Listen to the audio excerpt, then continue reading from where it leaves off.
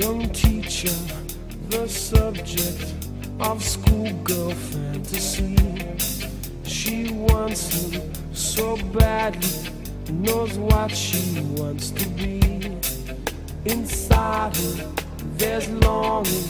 This girl's an open page, bookmarking. She's so close now. This girl is half his age.